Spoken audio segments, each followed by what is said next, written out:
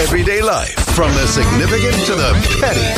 Time now for Kristi Gustafson Barlette on 1077 GNA. Guns and stuff. Beerlet. Kristi. Times Union. Beerlet. Beerlet. Beardlet. Bearded lady. What? Come on. Oh, stop. Uh, hi, Kristi. Good morning. We're talking about inappropriate things that people say that amaze you. Unfortunately, nothing you say amazes me No. anymore because you're 'Cause you're you're always you. dropping them, Yeah, Kristi, we love you. You're I- dropping the offenses. so, Kristi, we have weddings coming up, right? Wedding season, they say, which is always a weird term, but it is, is an actual thing. Graduations are absolutely either happening or happen. Uh, some of these speeches can be legendary. I personally love a good speech.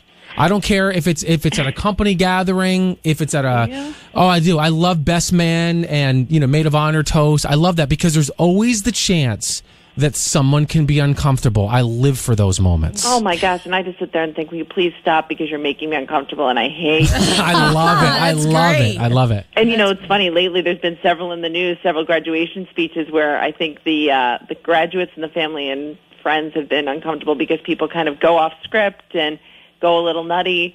And so that made us ask readers and listeners, what's the time that you heard a speech, whether it was at a graduation, a wedding, in a church, somewhere else, that someone said something and you were just like, oh, I can't believe they went there. Or, oh my gosh, I have to tweet that because I can't believe they went there. Your readers have been to some pretty have had some pretty interesting scenarios. So Oh, my take a few and So- go and run with it. But one of the um, one of the one there were several that made me laugh, but one of the ones I had to mention because it was from Sarah Plant and it was at her wedding, and her father got up there and started a speech and said like, "Hey, good evening. A good speech should be like a mini skirt." Short enough to catch your attention, but long enough to cover the important stuff. That's awesome. That's a pretty good one. She said, needless to say, I never forgot it, but I also did not forget the look on the priest's face who married us. Oh, that's great. Thanks, Dad.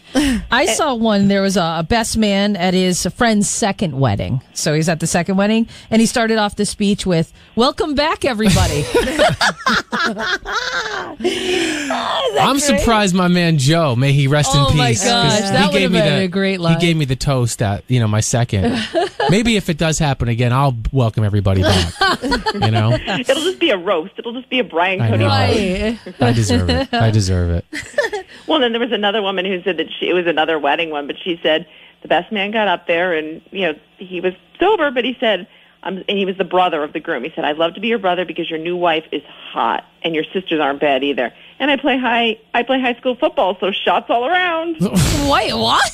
Like it kind of He was rhymes. basically saying, "I have so many opportunities here, and I'm going to embrace it, including with the gr- with the bride." Oh, that's terrible. That's one way to help your brother out, yeah, I I guess. guess. Well, and one of the ones that I had was at a wedding too. I went to a wedding and the priest gave a fairly lengthy homily, which is you know like the like the sermon.